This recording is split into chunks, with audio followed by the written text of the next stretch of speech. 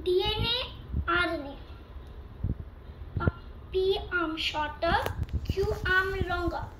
For D, DNA, it is ATCG. And for RNA, it is AUCG. For a DNA with the ATCG, there's a very small rhyme. The tree, cars in the garage. And for RNA, it is apples under the tree because the T is gone for you. Cars in the garage. And the U of the and RNA and DNA is very same. And RNA has a double strip and it's twisted and turns lot many times. And RNA is just a single strip. It's like twisted like this.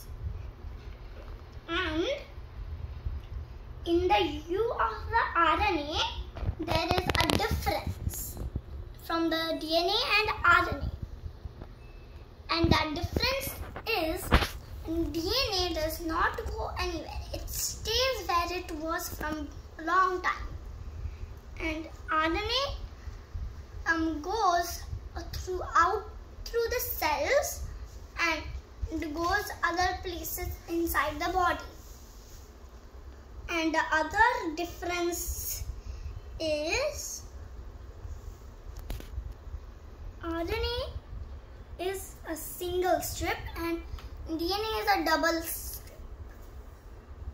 And this is the genetic code and which is the DNA. It has lots of information about the body and about other types of species or how we will evolve in the future. Done.